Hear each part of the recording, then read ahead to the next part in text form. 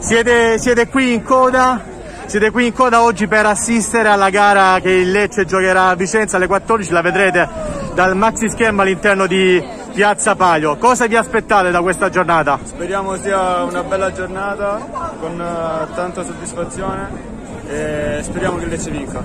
Ti ringrazio, vediamo qualche tuo altro amico, chiaramente chi? chi? La signorina?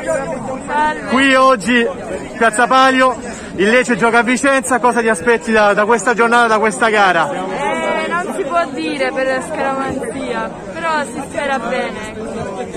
Siete venuti con un gruppo di amici, quanti, quanti siete? Siamo venuti dopo scuola, siamo 4-5, però forse dopo ci raggiungono altri.